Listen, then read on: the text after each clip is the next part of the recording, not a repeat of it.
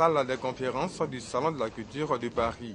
Au quatrième jour, le ministre de la Culture du Côte d'Ivoire a présenté à la presse internationale et aux hommes d'affaires les potentialités d'investissement qu'offre la Côte d'Ivoire dans le secteur agricole.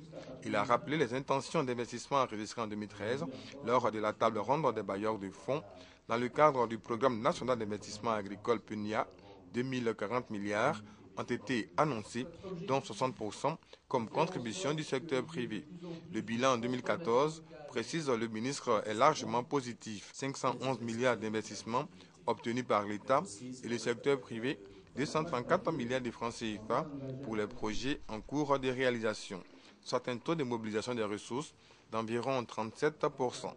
Des bons points certes, mais l'État continue les réformes dans tous les secteurs.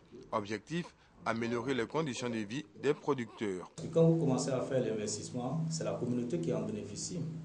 Au cours des échanges, le foncier rural était au cœur des discussions. Occasion pour le ministre Sankafoua de rassurer les investisseurs. Nous sommes dans le cadre du programme national d'investissement agricole. Nos services sont à la disposition des investisseurs pour clarifier les situations foncières avant les investissements pour vous aider à clarifier ces situations et à sécuriser vos investissements. On a remarqué qu'il y avait un plan assez ambitieux de développement de l'agriculture en, en, Côte d'Ivoire.